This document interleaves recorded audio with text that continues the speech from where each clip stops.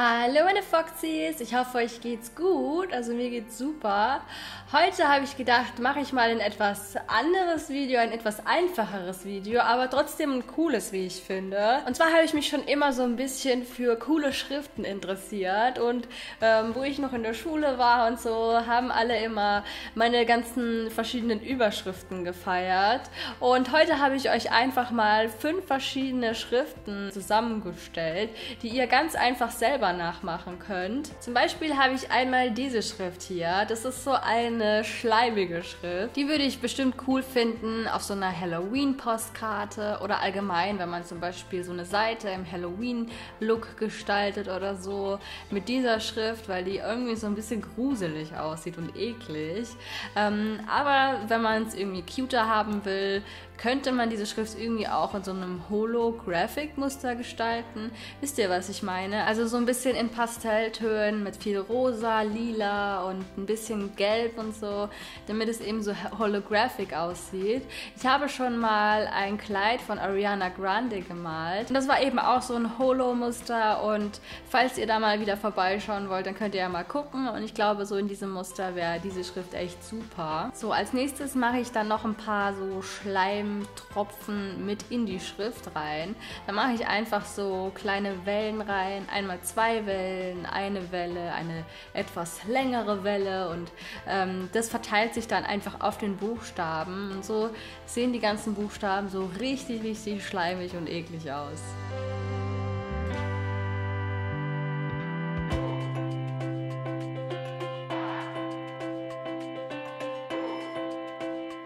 Als nächstes habe ich diese Schrift hier gewählt. Da habe ich einfach so ein umgedrehtes Megas-Zeichen als W genommen. Also die Buchstaben sind alle ähm, nicht ganz so dick wie oben, aber schon ein bisschen dicker. Also so, dass man in die Buchstaben noch ein Muster reinmalen kann. Und das werden wir dann am Ende auch tun. Was ich momentan ein bisschen versuche wieder zu lernen ist, ohne Vorzeichnung zu malen. Also solche Sachen mache ich in letzter Zeit ganz gerne, um so ein bisschen an meiner Konzentration zu arbeiten, wenn ihr versteht, was ich meine.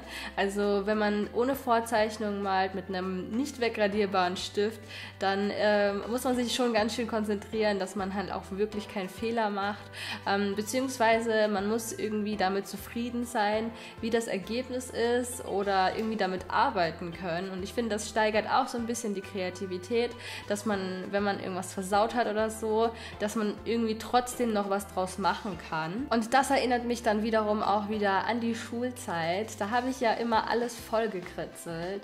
Und immer, wenn der Lehrer irgendwas erzählt hat oder so, habe ich die ganze Zeit nur irgendwelche Doodles in meine Hefte reingemacht. Irgendwann haben es die Lehrer aufgegeben, mich da zu ermahnen oder mir zu sagen, dass ich aufhören soll oder so, äh, weil ich es trotzdem immer wieder gemacht habe. Und ich habe ja trotzdem auch zugehört. Ja, die Lehrer hatten es nicht leicht mit mir, muss ich ehrlich sagen. Auch wenn ich für manche von euch vielleicht total brav wirke oder so, aber brav war ich nicht. ich war trotzdem so ein kleiner Lehrerschreck, würde ich sagen. Ne? Beim nächsten Wort habe ich mich auch so ein bisschen inspirieren lassen von Tumblr und so und da steht auch viel Wi-Fi und das Ganze. Und ich bin ja irgendwie schon so ein bisschen Wi-Fi addicted, obwohl ich das nicht so gut finde. Aber seien wir mal ganz ehrlich, so ein bisschen internetsüchtig sind wir doch alle. Und ihr seht, ich mache in die Buchstaben so verschiedene Muster rein. Vor allem so Zickzackmuster und so äh, verschiedene Schlaufen und manchmal auch so eine durchgezogene Linie und sowas. Und ähm, das sieht so ein bisschen, ja, so indianermäßig aus oder so Bohemien oder so. Und äh, wenn man die ganzen Buchstaben voll damit macht, dann sieht es auch ziemlich cool aus. Man kann die Buchstaben natürlich dann auch äh, im Nachhinein noch ausmalen mit einer etwas helleren Farbe, damit man natürlich die Muster noch durchsieht. Oder man könnte die jetzt komplett gestreift machen innen drin. Also wenn man die jetzt so ganz bunt gestreift ausmalt, sieht das bestimmt auch richtig cool aus. Oder so ein mega schöner Farbverlauf wäre bestimmt auch sehr, sehr schön. Ich habe das jetzt alles extra nicht ausgemalt, weil ich einfach so ein Basic-Video haben wollte. Auch für mich so als Inspiration, wenn ich in nächster Zeit öfter was in meinem Bullet Journal mache oder so, ähm, um rauszufinden, was mir Spaß macht und was ich schön finde.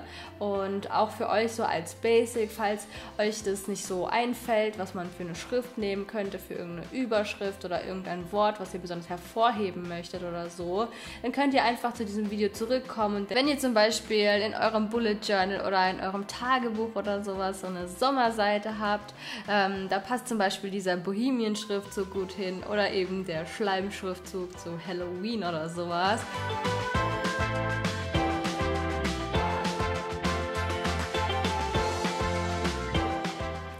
Die nächste Schrift ist auf jeden Fall sehr einfach, aber sehr, sehr wirkungsvoll. Und zwar macht ihr als allererstes erstmal die Buchstaben. Ich habe jetzt äh, solche Buchstaben genommen, ich habe die ein bisschen dicker gemacht.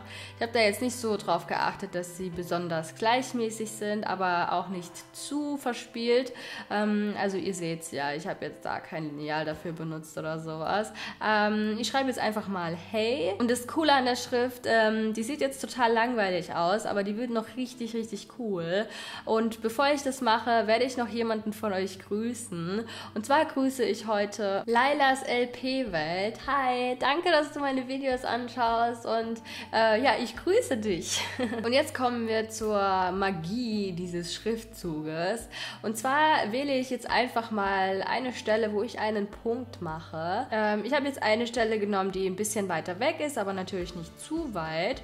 Und dann verbinde ich einfach Eckpunkte Punkte, die jetzt zu diesem Punkt hin zeigen. Also ihr seht, ich lasse den Schriftzug komplett leer, also ich mache die Linie nicht durch den Schriftzug durch, sondern ich nehme einfach die Punkte, die sich so verbinden lassen ohne dass ich jetzt den Schriftzug sozusagen berühren muss. Irgendwie finde ich das ziemlich schwierig zu erklären, aber wenn ihr das seht, dann wisst ihr ganz genau, was ich meine. Ich finde, wenn man dann fertig ist, dann sieht es so aus, als würde das Hey von irgendwo weiter weg nach vorne springen oder so nach vorne sliden, wenn ihr versteht, was ich meine. Also vom Punkt aus nach vorne. Und natürlich könnt ihr den Punkt auch oben hin machen, unten hin machen oder auch nach rechts machen, je nachdem, wie äh, das jetzt zu eurer Seite, die ihr gestalten möchtet, passt. Ich habe bei dem Schriftzug jetzt einen kleinen Fehler gemacht und falls dir der Fehler auffällt, dann schreib mir das doch in die Kommentare. Aber ich habe gedacht, das ist nicht so schlimm, weil eben äh, es mir jetzt in diesem Video darum ging, dass ich die Idee teile und nicht, dass es irgendwie perfekt sein muss, weil ich habe momentan so ein bisschen ein Problem damit, dass ich mich zu sehr unter Druck stelle und irgendwie alles immer perfekt machen möchte oder so gut wie möglich und ähm, ja, irgendwie äh, macht mich das nicht besonders glücklich und deshalb ähm, muss ich andere Wege gehen. Ich muss versuchen, Dinge zu machen, die mich ein bisschen challengen, aber wo ich mir eben nicht zu sehr Druck mache. Weil sonst hat das Malen und das Kreativsein und so für mich den Sinn verfehlt, äh, denn es soll mich ja irgendwie locker machen und äh, mich entspannen und sowas. Aber wenn ich mir immer dann Gedanken darüber mache, wie das Ergebnis am Ende ist, ich möchte möchte euch halt immer ein besonders kreatives Video abliefern. Aber desto mehr man sich Gedanken darüber macht, desto mehr man sich den Kopf darüber macht, desto äh, schwieriger fällt es einem. Und ich glaube, selbst so Kleinigkeiten mögt ihr und das reicht euch vollkommen aus, wenn ich auch mal so Kleinigkeiten poste, wie jetzt zum Beispiel die Schriftarten und so. Wenn ich einfach mal ein paar Schriftarten übe und ausprobiere und so, dass ich das mit euch teile. Ähm, das mögt ihr auch sehr gerne, habe ich das Gefühl und deshalb werde ich das in Zukunft auch öfter machen. Die nächste Schrift ist so ein bisschen easier wieder und sie erinnert mich auch so ein bisschen an die zweite Schrift, die ich gemacht habe. Nur ist sie, finde ich, noch ein bisschen leichter zu machen. Und zwar habe ich jetzt einfach mal ein ganz normales dünnes H geschrieben.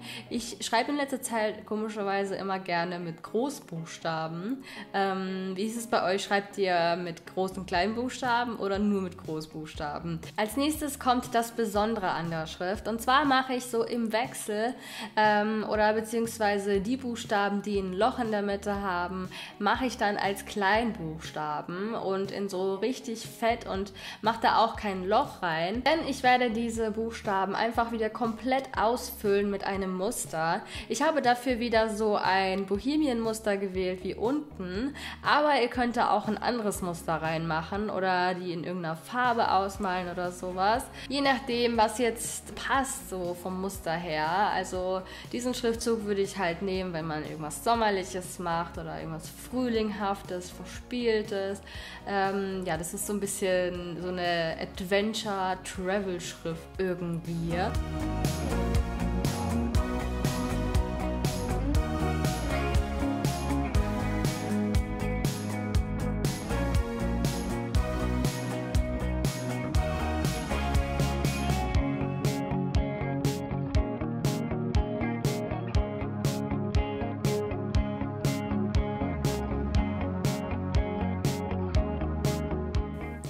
Die nächste Schrift ist so ein bisschen einfacher gehalten, aber ich finde, die Schrift geht einfach immer. Und zwar schreibt man einfach wieder so Buchstaben. Da kann man natürlich verschiedene Schriften dafür nehmen. Da muss man nicht unbedingt diese Blockschrift da nehmen, die ich jetzt genommen habe. Ich habe da jetzt auch wieder nur Großbuchstaben genommen, aber man kann natürlich auch Groß- und Kleinbuchstaben machen. Und das Besondere an dieser Schrift ist, dass wir sie so 3D-mäßig machen. Ich glaube, die meisten von euch kennen diese Schrift auch schon. Aber für diejenigen, die sie jetzt noch nicht kennen oder beziehungsweise für diejenigen, die diese Schrift noch nicht so auf auf dem Schirm hatten oder so, ist es jetzt einfach mal so eine Idee. Ich habe mich jetzt für den Schriftzug HH entschieden. Ähm, wenn man zum Beispiel irgendwas Witziges geschrieben hat oder sowas, dann kann man zum Beispiel diesen Schriftzug irgendwo mit einfügen. Ähm, ja, also jetzt kommen wir auch schon zu dem Besonderen beim Schriftzug. Und zwar machen wir jetzt ähm, von den Ecken aus immer zu einer Seite so ein, so ein Strichlein hin. Also Seht ihr das? Äh, immer so einen kleinen Strich. Dann muss man die Striche einfach so verbinden und dann sieht der Buchstabe auch sehr 3D-mäßig aus.